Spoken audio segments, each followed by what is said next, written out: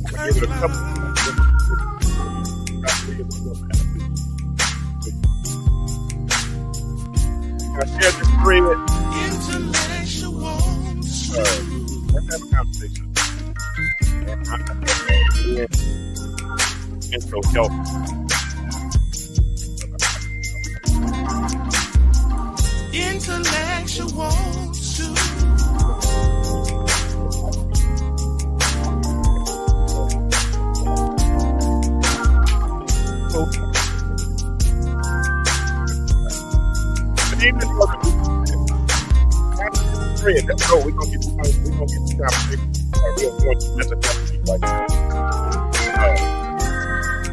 Oh, look at it.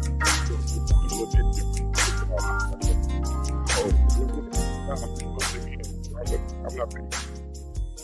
Or it'll start again, I guess. I don't know.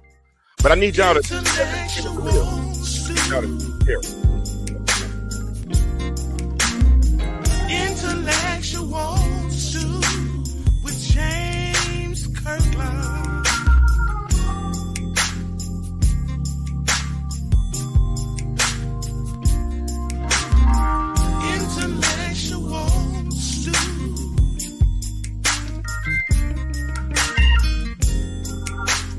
share the thread. Intellectual.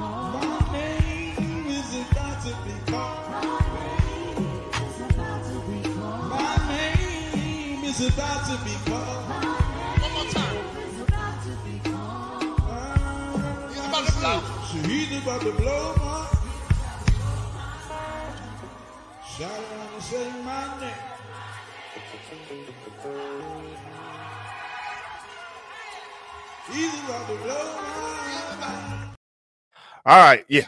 Every now and then I have to play that for myself. Uh he's about to he's about to blow my mind. I like when he does that. That uh I love I love that. Uh can you hear me better now, Elder Lisa Smith? My music was just loud and uh I didn't turn it down. So that might be why you could not hear me. Let so let me know. Can you uh am I transmitting better now? Uh so I can know if my music is doing what it's supposed to be doing. It's better. Okay, good, good, good. I think yeah, I think it was a combination of the music being loud and me moving around and all those things. So that probably had a lot to do why you could not hear me that well. What's up? What it do? Time for another episode of the Intellectual Stew with yours truly, James Kirklin. And I am I am uh, exceedingly excited to be back and to make your acquaintance once more. And again, what that means is that uh I've made it. Grace kept me this long. Uh, I'm in, in the land of the dying, on my way yet to the land of the living. Uh, and in the vernacular of my grandmother, she would say it like this It's another day's journey. And reality suggests I'm glad about it. Uh, and the fact that I am here right now uh, means that I've been given another opportunity uh, to whatever I got wrong on yesterday to get right on today. Uh, so, um, I don't know. How was your weekend? Did y'all have a good? Did y'all have a good weekend? Um, I did. I just rested. I just kind of chilled. Uh, I just chilled. I didn't do much of anything. Uh, I see um, that it has been. Yeah, yeah. It's been hot in Little Rock, hadn't it? It's like over hundred degrees. Uh, or the temperature, sun is setting, the temperatures drop. Okay, yeah, you're saying that right now. You been you you in my head, Elder Lisa Smith. Yeah, I saw uh hundred plus degrees, and it's hot here as well. Um, what y'all, what do y'all keep y'all's thermostat on? Because I'm already prepared for a higher higher electric bill because I can't sit around the house house being hot. That just that's not gonna work well with me. Uh, the way my body's set up, I don't like to be hot. So uh, I got my thermostat set right now uh, on 77 during the daytime, and then at 75 at night. Uh, know, and uh, then I have a fan blowing like directly in my face. I mean, because I do not, and I repeat again, uh, do not like to be hot. Uh, I don't. You're ba- are you battling a cold? Oh no, not in the summertime. Those are the worst, worst kind of colds. Uh, you keep yours on 69. Oh my God, my no, my electric bill be too. Ah, I don't think I've seen an electric bill over 60 70 dollars in in years. So uh, somebody told me they had in my same complex told me they had a hundred and forty dollar light bill. I'm, I'm, like, how? But uh, I don't know. But uh, i keep mine on seventy seven, uh, seventy five in the daytime. Now, if I leave, I'm that daughter of mine. You never know. She might have it on eighty nine one minute and fifty two the next minute. So I gotta. But I don't know. That's my baby though. We've been we've been. I love. I like our living arrangements. We've been killing these watermelons right now though, man. I'm uh, in for years, I, I could not even find uh, a good watermelon in Ark in, Georgia. Now I'm talking about in Georgia. In Georgia, I know y'all Arkansas. I know y'all have good ones, but in Ark in Georgia, I could not find. But I finally found a source, Bishop Calvin Ward. He has watermelons in Mableton, so uh, I go by and see him. And my daughter and I, we literally will kill because she'll cut the whole thing up and put it in bowls. Hey, what's up, uh, Alicia? How you doing? Uh, she'll cut the whole thing up and put it in bowls.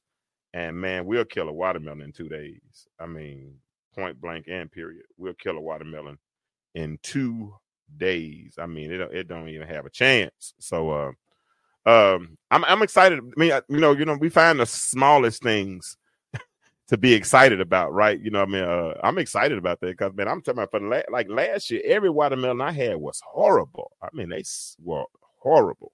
Um, and like I said, we've been we I've got the last two that I've gotten from uh, Bishop Ward over there in Mableton.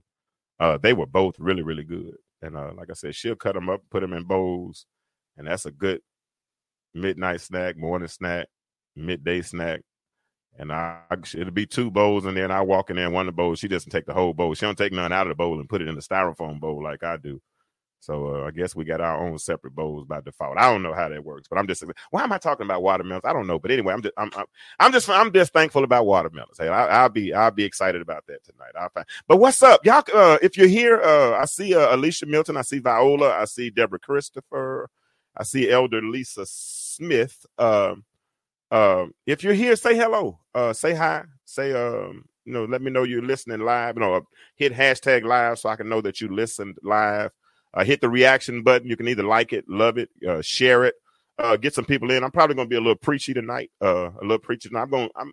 I'm gonna step back a little bit closer to my roots because that's just like what I do. That's who I am. Uh, and I, I've tried to sup- not necessarily suppress it, but I've tried to reach uh, different audiences, right? And uh, in reaching different audiences, you try to display different uh, aspects of yourself. But I really, as I thought about it, I really should di- display my strength uh, more than uh, anything else. I mean, I appreciate God for versatility. Uh, I appreciate uh, Him for the ability to connect with different audiences. But if I'm going to present myself, I think it's only fair uh, that I present myself uh, at, at what I do best, uh, what I feel like I do best, or what I've been told uh, I do best. So we're gonna probably switch it up. Uh, you know, we always talk about the intellectual stew, the intellectual stew. And one thing that I've always tried to do, I see six people watching, but only three people have reacted. Please just hit like. It won't. It won't even hurt a whole lot if you just hit the like button or the love button. It won't hurt you a whole lot. Uh, please, man, please, sir. But throughout uh, my time on this show, one thing I've tried to do, um, uh, what I've tried to do is I've tried my very, very best uh, to present um, present myself to be transparent. I've tried to, uh, uh, you know, if you look in the Gospels, uh, there was a time after Jesus had died and ascended that they came back and they were on the Emmaus road, right? And uh, and they and he ran into a couple of disciples, and then he appeared amongst all of them, and there was one by the name of Thomas, Doubt, Doubting Thomas. That's a, that's how we know him in history, right? But Doubting Thomas said that uh he wouldn't he wasn't going to believe what uh except uh he saw the nail prints. In other words, except he saw evidence. He wanted Jesus to show him uh his wounds. And uh and that would make him make him believe. But one hard lesson that i had to learn Stew Nation was that uh you can't what's up emmanuel? I'm, I'm gonna be kind of preaching tonight emmanuel so don't don't cuss me out too bad. But y'all listen y'all uh y'all are free to stop me at any point you know if we're talking and you can identify with something that i'm saying i'm gonna put the phone number up uh, again I'm because i always forget to do that. Let me put the phone number up and uh, get us set up to take phone calls because like i said if something that i'm saying if you can relate to it now all of this is to circle back to mental health because this is men's mental health month right? So even even even me being preacher even me touching some of these scriptures that i'm to touch tonight uh, it's all to make a u-turn and before it's all over with we're to end up back on this whole thing uh, as it relates to mental health so like i said i'm gonna be i'm, I'm gonna have to go back to my roots because i'm a preacher i've been i've been doing this for 29 years that's that's what i'm called to do uh, like I said, I try to reach out more audiences, but uh, let me let me uh let me let me go a little bit back. So Doubting Thomas, he he uh he said he wouldn't believe unless he saw the wounds, right? So one hard lesson I had to learn was that you can't expose your wounds to everybody. You know, you you, you can you, you can try to be transparent. Uh, you can you can try to open up. You can do all those things. You can overshare, but you can't expose yourself to everyone because not everyone is equipped to deal with your wounds. Okay, let me let, let I, want to make that make sense because I, I I better understood this. Those that have followed me for any amount of time, you know that a few a uh, couple years ago, a year and a half ago, so my dad had a heart attack. Uh, had a heart attack. He was at, at the high school. Uh, potassium level went low. He had a heart attack. Passed. They end up having. They revived him. Took him to the hospital. He slipped in and out of com. Uh, out of uh, you know, uh, he had cardiac arrest four times. Uh, they ended up having to put him in ICU, 14 IVs in him. I went home, we prayed, da da da. Long story short, my dad is back. He's fine. He uh he uh he, he uh he, he's back. He's fine right now. He's fine. But while he was in the hospital, Elder Lisa Smith, while he was in the hospital, Emmanuel, he developed a bad staph infection. And I didn't know what that was then. Y'all probably know, y'all know more about this than I do, but because of all the ports that were in him from the different IVs, I guess they weren't changing the ports quick enough so he developed a staph infection, right? And so here this big because you know he went home wondering why his hand wouldn't go down. You know, his hands really, really swollen. So they take him back to the doctor. They uh, they discover he has a staph infection. Staph, staph infections are very dangerous. They can be deadly uh, if they're not taken care of. So my dad has a staph infection, and so he goes into the uh, doctor, and that staph infection when they they perform surgery, they clean the infection out, and when they clean the infection out, they take a bunch of gauze and they wrap this gauze up and they put gauze inside of the wound. And I think they called that. Y'all help me out on this because I'm not a medical professional, but they did something called packing the wound. They were packing the wound. They were put, you know, packing it with gauze. They packing it with gauze. And so, and so now the thing about this gauze is, is that the gauze, okay, thank you. The gauze has to be changed every day or every couple of days, however it, I mean, however often, because you can't leave those bloody that bloody gauze inside of him, right? So my mom, they've been married. How old am I? I'm, I'm 51, I'll be 52. They've been married almost 45 years. They were married 43, 44 years at that time. She's seen every side of him, but she couldn't handle that wound. They wanted her to pack the wound. She said, I'm sorry, I can't do it. We, we y'all either got to send somebody to the house or we got to go somewhere every day but I cannot handle taking the gauze out and put and what I'm saying is you got to be careful how you expose certain aspects of yourself to certain people because they're not equipped to handle whatever it is, whatever wound you might have, uh, what, whatever wound you might be dealing with at this particular time. Now, understand there are two two. I put up 11. There are two different types of wounds. Now, this is me talking. You got, you got, you got self-inflicted wounds. You got God-inflicted wounds. Now, God-inflicted wounds, they, you know, they, you know, you know, you go through it, you get your lesson, you get the blessing, and you move on. Self-inflicted wounds usually last a little longer. that, that, that's something you put on yourself. That, that that usually lasts a little longer. The lesson takes a little bit longer to learn. But good thing is they all work together for the good. Let me see. Everybody can't handle your wounds, nor should everyone ha- have access. Absolutely. But sometimes, let me see what Jesse said. Rip it out every day, maybe twice a day to make it work. Like, yeah, my my mama wasn't doing that. Every now, Jesse, you can handle that. You know, I get it.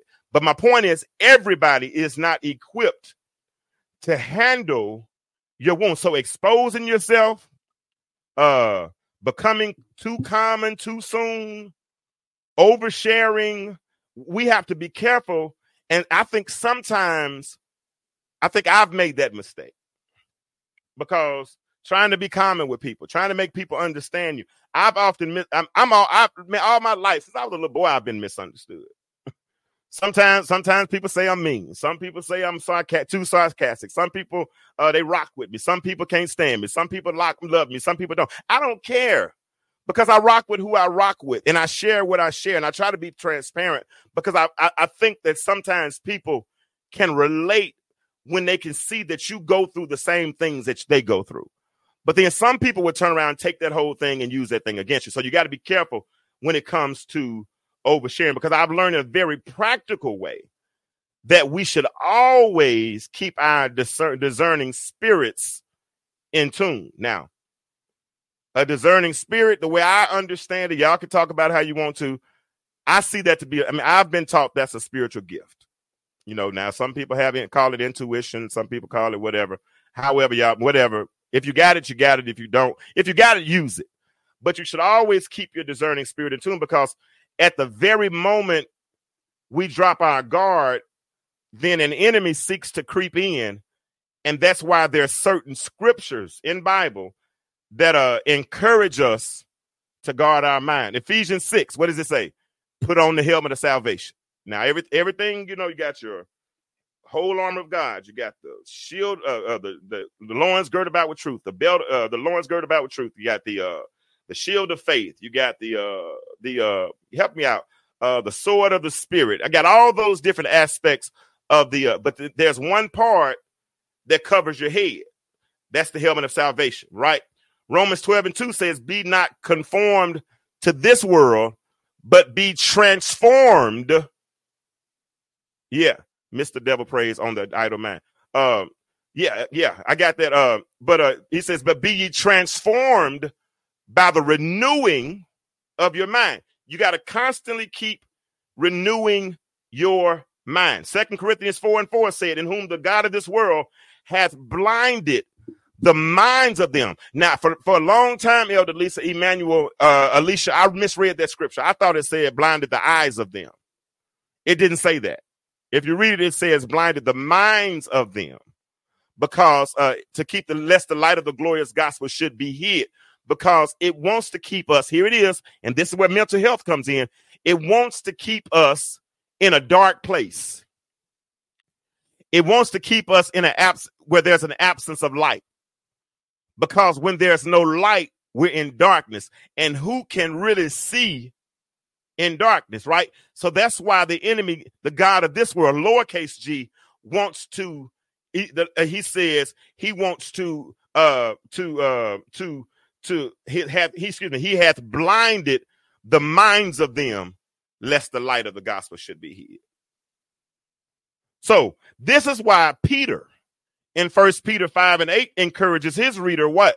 He says, Be sober, be vigilant, because we have an adversary who he calls the devil, who Emmanuel just uh, identified.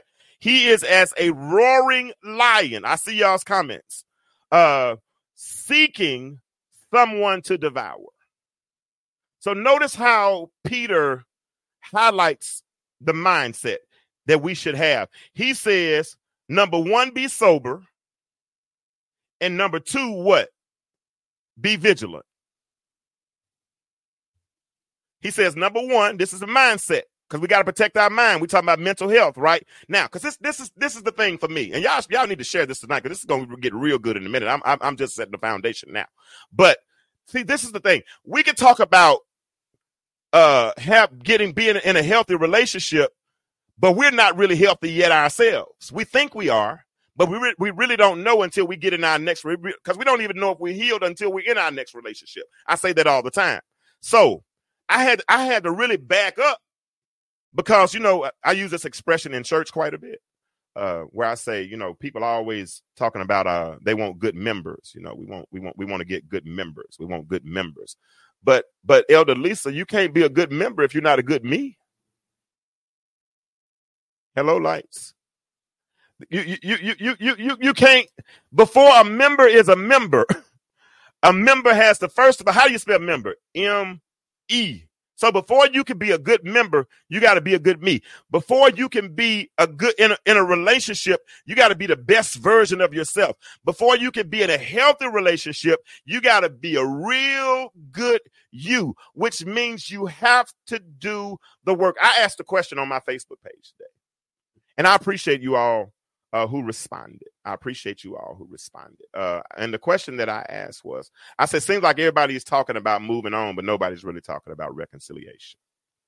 And everybody said, Well, I'm not talking about reconciliation. After I've done everything that I've done, and I tried to do this first, and I tried to do that. And when I tried to do that, that didn't work. And then, of course, I had to move on. I wanted to say, Well, sweetheart, you tried to reconcile if you tried to do this, and you tried to do that. And you read the and you tried to do that. You then you tried to reconcile. So what so why are you fighting air? And, and what that lets me know, and I was talking to my therapist about this this morning, is that there's so much trauma in our, especially in the African American community, right? And we've never been treated for the trauma. And all we do is after we've been hurt or we've dealt with trauma, is we've dealt with it and we've just moved on. I like that, Emmanuel. Emmanuel said, I would rather have good bad members and then turn them into good members. At least you got somebody to work with. Most people don't want to do work though. All right, so let's let, let me talk about this. Some people don't want to be good members, but I'm, I, I, you know what? We can talk about the negatives and what people don't want to do and all that. I mean, yeah, that's fine. I mean, I think negative gets a whole lot of good, gets a lot of free press. I think negative gets a real. Um, I think we give a lot of uh, a, a negative. How much positive press? How much press do we give positivity? Right? If we if we talked about, and I feel you, Sandra, but if we talked about, you know, if we spend a, as much time talking about all positives, right? As much as we spend talking about negatives. I wonder if we could change the tide. Yeah, I keep talking about some, uh, you know, and I and I and point the finger right is real. I can talk about some people all the time, but I want to talk about me. I, I mean, I, you know, uh, I mean, I, I get it because when I'm in the mirror, and nobody's in the mirror but me. I don't I don't want to talk about what somebody else does, and I feel you if that's where you're at. I get it. Some people that something, and I can say that some people do, or just like to talk about what some people do. I, I'm I'm trying to rise above that, right? By working on me. And that's why I'm this whole mental health thing that we're talking. So let's get back on this. I'm sorry. Uh Peter said now the word sober means to be calm and collected. That's what sober means. So if we're sober, then we're not worried about what everybody is. I'm I'm I'm really worried about becoming the best version of James. That's that's where I'm at on that. So vigilant means to watch it means to give strict attention to. Uh, it means to take heed through remission and indolence so uh, some destructive uh, c- uh, calamity suddenly overtake one. It means we got to put ourselves in a vigilant position because we're aware that negative thoughts, Sandra, negative thoughts, Lisa, negative thoughts, th- when they come in our mind, every negative emotion is looking for a body. It's looking for something to help it manifest itself because running around by itself, it can't do anything. A negative thought is just a thought until it comes out of my mouth. Because when a negative thought pre- presents itself, at that moment, uh, was uh, wasn't all God disciples of wrong? I don't understand. Re, re, uh, rewrite that question. I don't, I don't, think I'm reading it right. And and I'm and, and and I'm not talking about what's right. I mean, what's what's wrong. Everybody is human, right? We get it. We have our moments of frailties, right? All of us. But do we use that as an excuse to keep doing the wrong thing? They say insanity is doing the same thing, looking for uh, uh, uh looking for different results. Paul says, "Shall we consent, continue in sin? God forbid." No, it's a time. Even when, and, and then it also says, "To him that knoweth to do good and doeth it not, to him it is sin." So at a certain point, when we know better, we kind of like try to do better. Do you know? But that's only me. That's only me taking becoming the best version of myself. So here it is.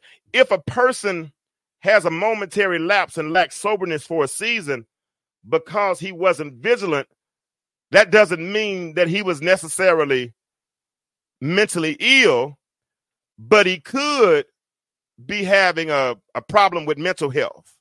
Yeah, we all make mistakes. Absolutely. Absolutely. But we build, we, we learn from our mistakes and then we move on from our mistakes. I don't think we, can I ask you this question? I'm, I'm going to ask you this question since you asked me a question. Um, uh, if we make mistakes, should we marinate in our mistakes or should we learn from our mistakes? That's a question for you, Emmanuel. Or do we use that as a license to keep on? Well, I messed up. I'm human, so I'm gonna keep on messing up. I know I'm gonna mess up, but I want to learn from my mistakes so I don't make the same mistake again. If I make the mistake, like if I was a child, right, and I was at one time, and I went in grandmama's kitchen, and uh, and I made the mistake of touching a hot stove, I bet you I didn't make that mistake again, because about I don't like the uh the uh the ramifications of touching the hot stove, and I think that's the thing, even with uh, as human beings, that there are times as adults, as children, uh, all those things we made mistakes, but um at a certain point, Uh, we learn from those mistakes. Now, this morning I asked my therapist a question. I said, "Is there a difference between mental illness and mental health?" Uh, I got you. Uh, how are you going to learn if you don't make mistakes? Yeah. Okay. Uh, yeah. Now, oh, oh, oh, hold on. Let me hold on. Hold on. Uh, Sandra, I got to give you one of these. Hold on, Sandra, I'm gonna have to give you one of these. This, this is, this is special for Sandra. Then I'm gonna get back to my sermon. I'm gonna preach it a preacher, man. I feel like kind of preacher. Uh, this is for Sandra. Oh Lord. Oh Lord. All right, thank you, Sandra. I, I, I like that comment. Uh, she said, if you continue to make the same mistakes, making the same mistakes, it's no longer a mistake. It's become a habit. It's a choice. That ain't a mistake. That's a choice. I agree with that. Uh, but uh, I'm striving not to make mistakes, though. I don't want to. I don't want to use that as a crutch. I'm striving for per, perfection. Perfection in the Hebrew, in the Greek means I'm striving for maturity. I'm trying to be better uh, than I was. Right. Uh, so let me uh let, let, let me go a little bit further. Okay, so I'm talking to my therapist this morning, and I asked her a question. I asked her uh if there's a difference. I'm trying to find this article that uh Alicia Milton sent me today. I asked her is a choice or a lifestyle if there was a difference between mental illness and uh, mental health, and she shared a nice article with me, and I'm going to sh- put it in the group right now uh, because there is a difference, um, and I really y'all need to check that out. Um, check it out. Yeah. All right. So I'm not gonna be able to read all the comments because I got to get through some of the. Okay. So she explained that there's levels to this. She she said she would classify not. This is what my therapist said. She said she would cla- classify uh, mental illness is something like schizophrenia, uh, severe PTSD, severe bipolar disorder, certain conditions. But she says we sometimes we exercise poor mental health when we have trouble processing our emotions. Does that make sense? She said, uh, she says, uh, um, here it is. She says our environment can affect uh, can affect our emotions, uh, affect our emotions. And she says trauma, and that's what I just said a few minutes ago. Trauma has always been a part of our com- community, uh, and we are the effects. I said this last week. We are the effects of what we have been exposed to and what we have been em- embraced. That's right. Okay. So let's talk about that. Emmanuel, if you went over your cousin's house when you were younger and you weren't immune to it, and your cousin had chicken pox, and it's highly contagious, right? And sometimes people would do that so they can get some of these diseases out of the way. When you went over there, because you were exposed to chickenpox, you became the you started getting some of the effects right? You start itching too. They got pink eye and they touch you and you touch your eye, pink eye. Because with the effects of what we exposed to, and even when we didn't try to embrace it, we still caught it because it was contagious, right? Some things in society we've just picked up by osmosis, by being in an environment, right? By orientation, simply for being in the area. And understand this trauma has always been a part of our community. And because we, I mean, from slavery, from Jim Crow, from all of these things, they're all help help shape us. And when have we as a people had real therapy? when have we had time to really deal with the trauma? We just kept moving from one trauma to the next, from one trauma to the next, from one trauma to the next, because at a certain point, it it all becomes um uh, I'm I'm sorry I, I uh I'm okay I see you Charlotte. Uh, I'm flowing right give me a second. I, I see you though. Uh but what was I saying? I hate when I do that. I mean I might cut these comments off. Uh but um oh yeah I know how to do it. But uh but we ne- sometimes we don't get uh we, we never got in therapy right? We've never really dealt with it because we were to- here it is. We never really dealt with it because we were just told to deal with it and move on right? And so, last couple of shows I've done is, is I've uh, I've talked about you know the different attachment styles and how from infancy, you know how we're products of our environment and how as we grow we relate to others in adulthood uh, based on how we were dealt with as children. And understanding, we talked about this. Our attachments, our attachment styles, they can change as we grow up. We might have a, a ambivalent attachment style but as we grow older, we somebody might love us properly, and then now we might end up developing a secure attachment style.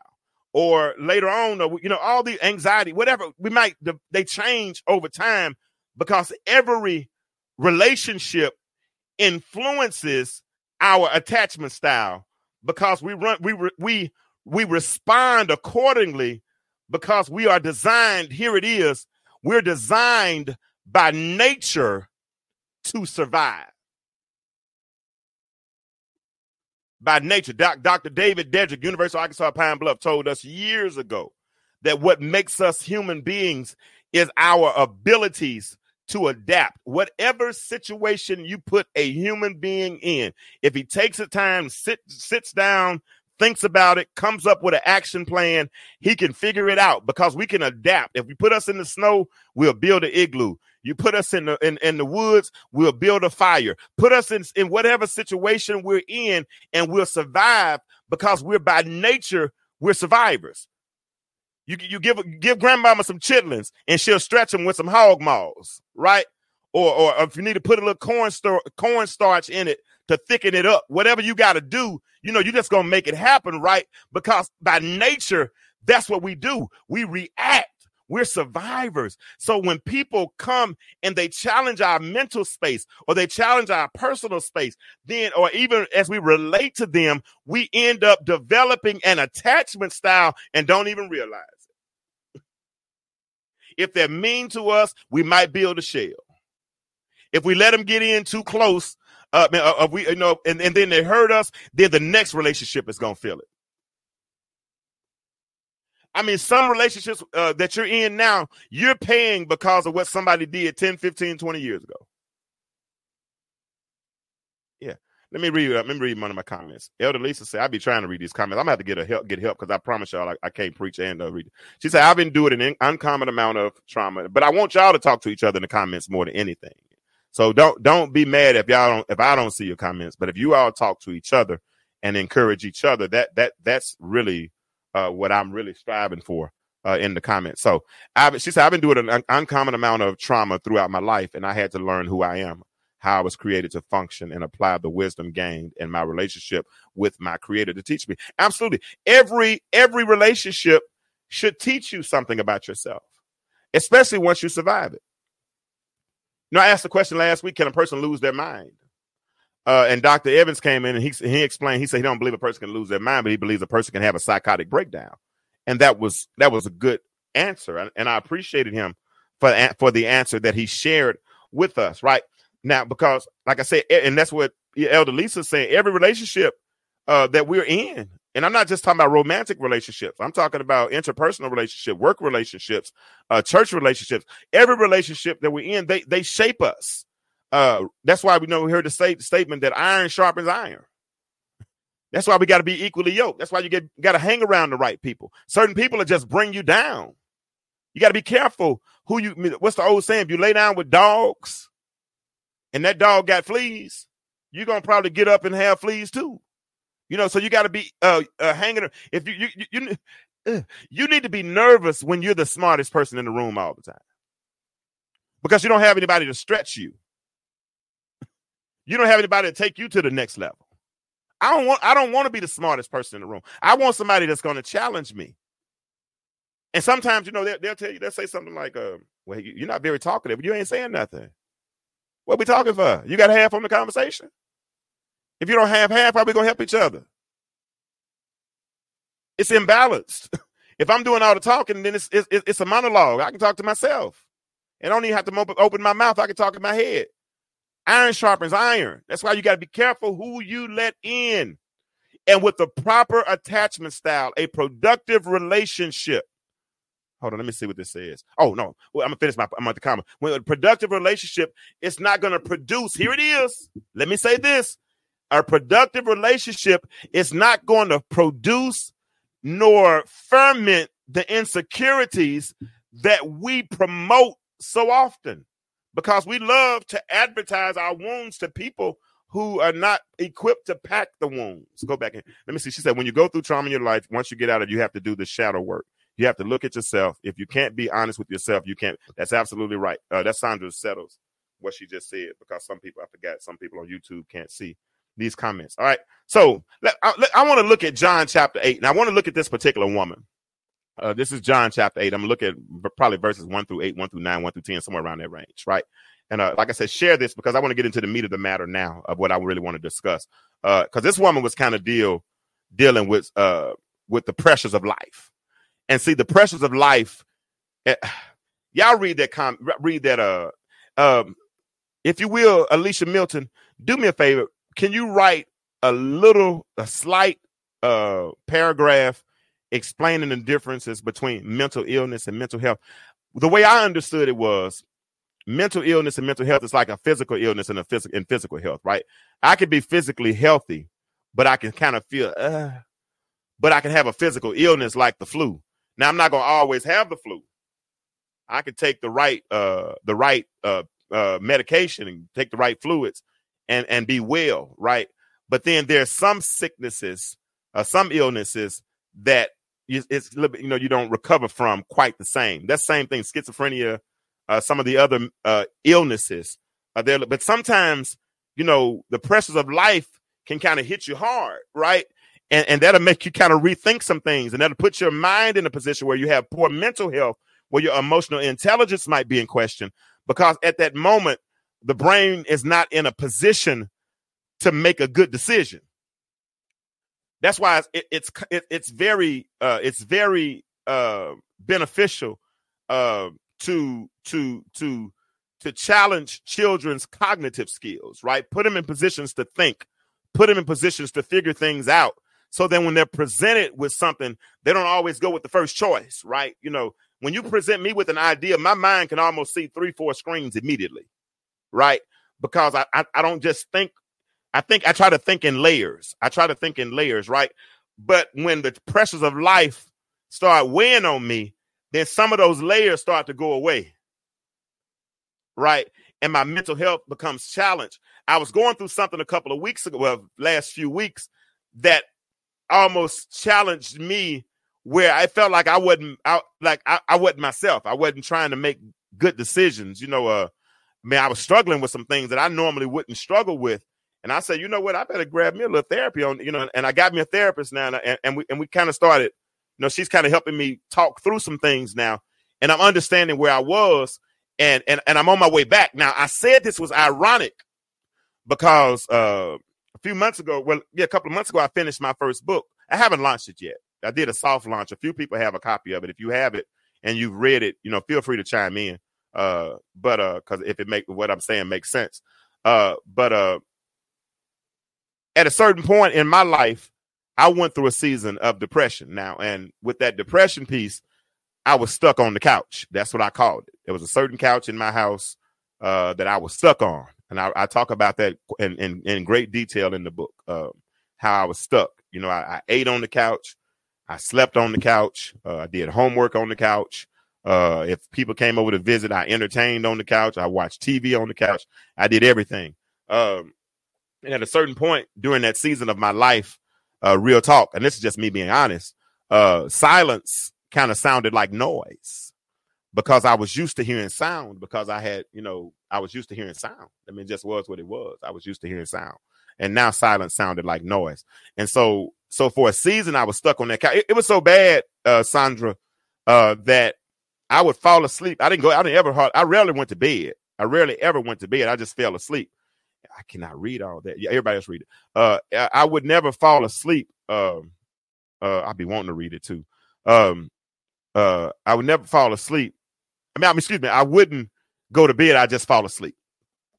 Uh, and then when I would wake up, it'd be three, four o'clock in the morning. And then I would try to go get into bed.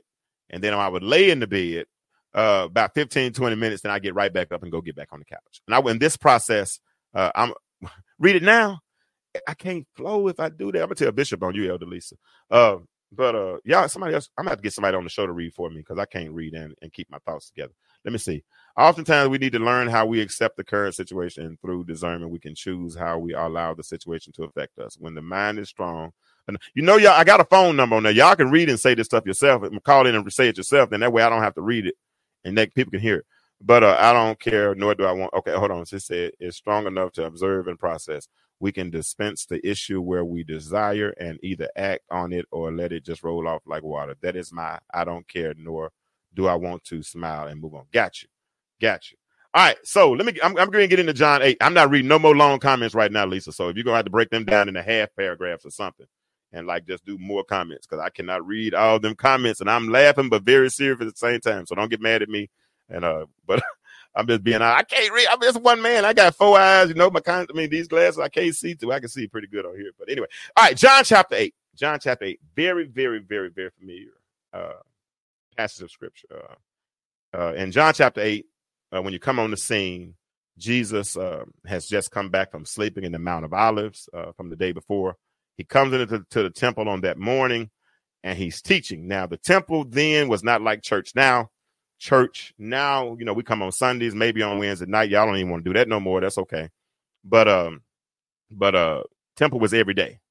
Every, they literally literally hung out every day. Every day they came to the temple. So they came to the temple on that particular day, and uh, and Jesus is teaching. He's teaching, and the scribes and the Pharisees uh, they brought a woman to him, and they brought her. They stood her in the midst of him. Verse number three says, "And the scribes and Pharisees brought him into brought unto him a woman taken in adultery, and when they had set her in the midst, they say unto him, Master, this woman was taken in adultery in the very act. Now Moses in the law." Commanded us that such should be stoned. But what sayest thou? This they said, tempting him that they might have to accuse him.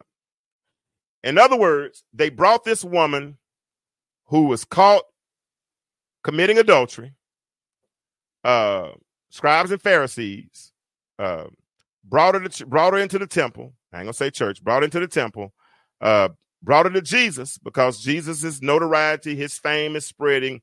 He's different. Uh, he's uh, been doing teaching doctrine that they were not familiar with. Uh, so and th- so they were trying to find any reason they could to accuse him. Jesus comes in talking about he's the king of the Jews, all these different things, and they had been uh, strict at it as it related to Ju- Judaism for years. You know, so they did it a certain type of way, and they weren't used to this new thing that Jesus was bringing now because Jesus said, I didn't come to destroy the law, but I came what? To fulfill the law. So he came with a whole different perspective now, right?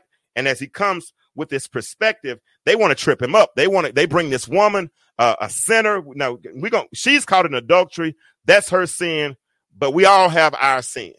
And uh, we have all um, I'm, I'm, gonna get to that in a minute. Um, uh, but uh, we have all uh, done something. But before, for the sake of this lesson, we're gonna call them the fault finders. All right. I want everybody that's, in, that's listening right now. Type that in the uh, in the comments for me.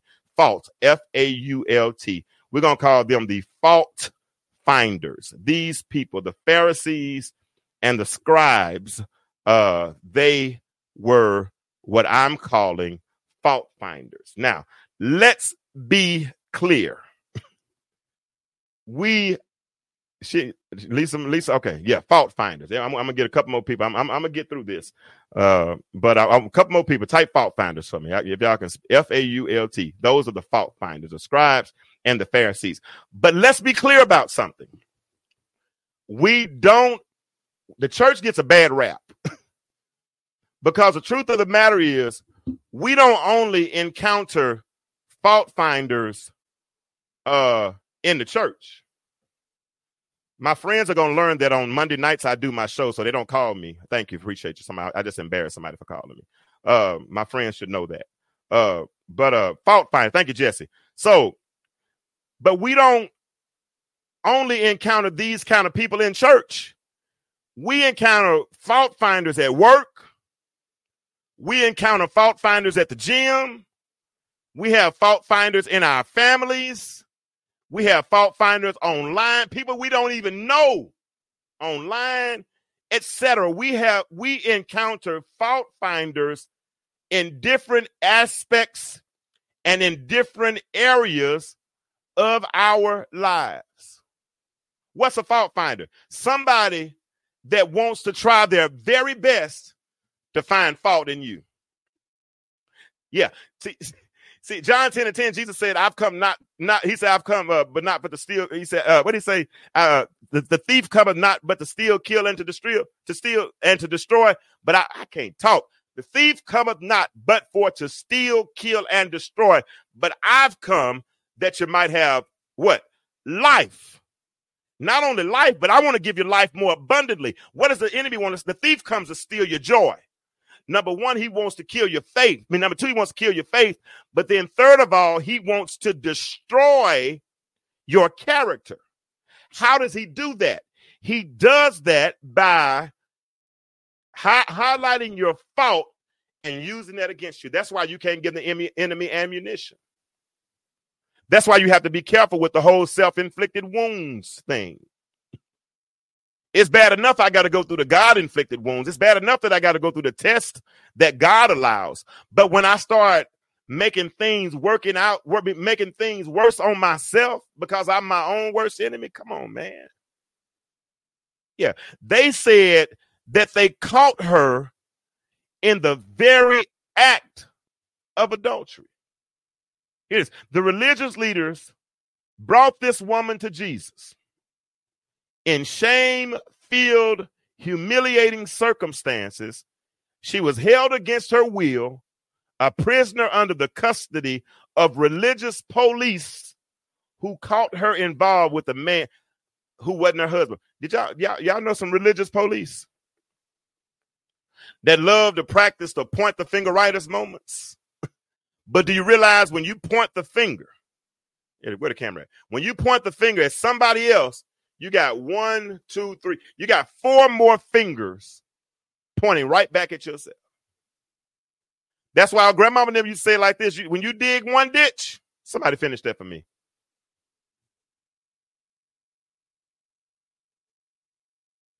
When you dig one ditch, I was reading. Uh, that took me gave me time to re- read uh, Elder Lisa's comment. but uh, when you dig one ditch, don't stop there. Dig two, because the ditch you deal for somebody else, guess what? That ditch just might. Wish I had a witness right here. That you better dig well for yourself, because that ditch might be for you. So all indications indicated that her accusers had some special vindictiveness against her. Legally speaking, this is because adultery was a sin in that day. No doubt it was. Legally speaking, the standard of evidence was very high for this uh, for this crime. There had to be two witnesses, and they had to agree perfectly. In other words, they had to see this is for adultery to count in those days. They had to see the sexual act take place. It wasn't enough for them to see the pair leaving the hotel room. I know it wasn't no hotels back then. I'm being I'm, I'm making this practical, but they had to see the the couple together or even lying on the same bed together. So, I mean, they had to have evidence, man, for to really bring these kind of accusations uh, to a court. In other words, the actual physical movements of the couple must have been capable under no other explanation. If if it was going to be valid, you know, in other words, you got to be careful believing whatever rumor somebody you know how quick y'all believe stuff, man. I mean, y'all can some of this clickbait that you see online, man. It's just crazy how you promote something that's so far from the truth. And usually, I mean, you can check truth so quick. A quick Google search will let you know half the time if something's right or wrong. And if you don't want to go Google, go Snopes, S N O P E S. But because most of us want to see, because we have such, oh, here it is, because we have such negative perceptions of ourselves, we want to see somebody else in a much more negative light than we see ourselves so we can see ourselves better than they are. Yep, I just said that. I said it. I said it. I said it. I said it. I said it. I shown up did. Conditions were so I mean they yeah, it was very rare that somebody could really prove adultery in the Bible. They had like, yep, they had to be there themselves, Charlotte, to see it. And under these conditions, my voice I ain't gonna change it yet. I don't have I don't have C sharp. But under these conditions, uh uh okay, I hear you, AR. Uh, the, under these conditions, uh, the obtaining of evidence in adultery would be almost impossible. Here it is, unless it was a setup. Hold on, I, I, I got to do one right there. I got to. See my voice saying. I got to do one right there, man. I, I got to do one. I got to do one right there. Hold on, just one, because the only way you adultery could have been proven in that day, it was so hard to prove unless it was a setup. Oh Lord. Oh Lord. Oh Lord. Yeah. But here they are, bringing her before Jesus. Yeah. See, because this is the thing about it. Emmanuel. What's up, Jackie? Here it is. When when a fault finder gets you in his sights, make sure you don't give them extra ammunition with your self-inflicted wounds. We were born in sin, shaping in iniquity. You know, we you know we we have to learn to tell the truth. You know I mean? I mean, some of the